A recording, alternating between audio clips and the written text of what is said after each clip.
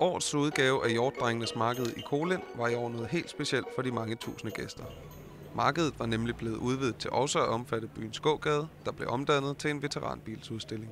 Ja, der er det specielt ved det, at, at, at nu har markedet jo så bredt sig til hele byen.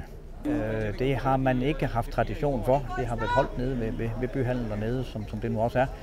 Og øh, det har vi så blandt andet gjort ved, at vi har fået samlet en, en hel masse veteranbiler og øh, ikke mindst knallerter, som er, er, er tilhørende her i, i Kolen, altså borgere i byen, som har det som hobby, og det er så dem, der udstiller her i, i bymidten i dag.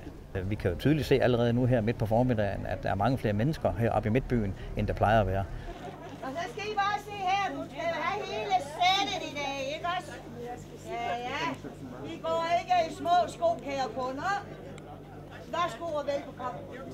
Årsagen til, at markedet stadig eksisterer efter 125 år, skal findes blandt de lokale engagement.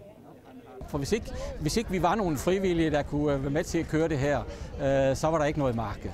Ifølge Tage Mogensen er Hjortdrengenes Marked enormt vigtigt for Kolind, og jubilæet har fået borgerne til at yde en ekstra indsats i år. For mig betyder det meget, og det har altid betydet meget. I de 40 år, jeg selv har været selvstændig, har jeg altid synes, at altså, det var noget særligt, at vi havde en mulighed for at kan markere os.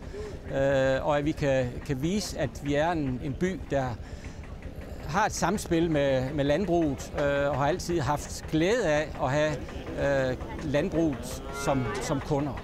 Det, det, det er skønt. Øh, men det, der også er i det, det er, at øh, byen har, har ligesom øh, synes, her har vi en anledning til at, at, at, at bakke det op.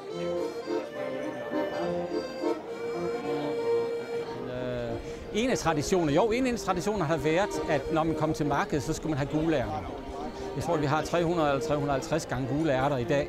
Øh, så det... Øh Traditionerne holder sig fast i, men på Hjortdrengenes Marked er der også plads til fornyelse. Det er nemlig de nye tiltag, der skal sikre markedets fremtidige overlevelse, så borgerne i Kolind stadig kan mødes til en omgang gule ærter i byhallen om 125 år.